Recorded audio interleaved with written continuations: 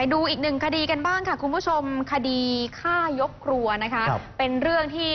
ตำรวจเขาสันนิษฐานว่าน่าจะเกิดจากการกระทบกระทั่งกัน เพราะว่าเป็นไปเป็นคุณพ่อที่เสียชีวิตเนี่ยไปเป็นลูกจ้างของ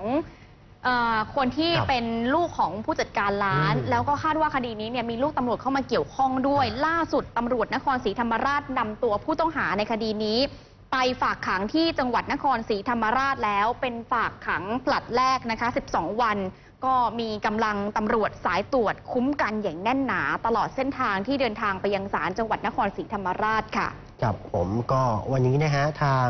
ตำรวจก็ควบคุมตัวคุณสิริชัยครับ ซึ่งก่อนหน้านี้เข้ามามอบตัวนะครับ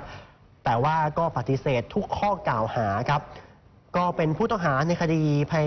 ในคดีฆ่าคุณสุเทพรอดสุข อายุ 29 ปี กับลูกชายวัย 2 ขวบ และอีกหนึ่งข้อหาคือข้อหาพยายามฆ่า คุณวาสนาโสพินอายุ 26 ปี กับลูกสาวอายุ 7 ขวบนะครับซึ่งถูกยิงได้รับบาดเจ็บสาหัสที่บริเวณริมถนนสายเลียบทางรถไฟ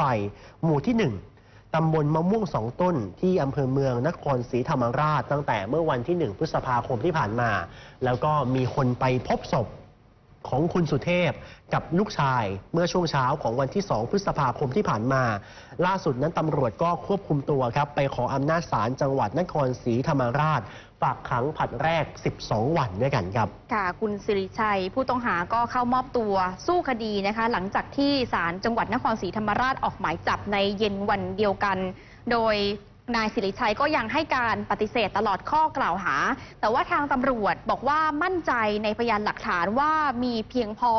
ที่จะมัดตัวผู้ต้องหาแน่นหนา แล้วก็ยังคัดค้านการให้ประกันตัวด้วย เพราะว่าคดีนี้เป็นคดีสะเทือนขวัญนะคะ ก็เป็นการก่อเหตุที่สร้างความสะเทือนใจให้กับสังคมตำรวจได้คุมตัวนายสิริชัยขึ้นรถยนต์สายตรวจไปฝากขังไว้ที่ศาลจังหวัดนครศรีธรรมราชครั้งแรก เป็นเวลา 12 วันก่อน แล้วก็คัดค้านการประกันตัวในชั้นศาลค่ะ ซึ่งตลอดการควบคุมตัวผู้ต้องหาไปนะคะ ก็มีกำลังตำรวจคุมเข้มอย่างหนาแน่นค่ะ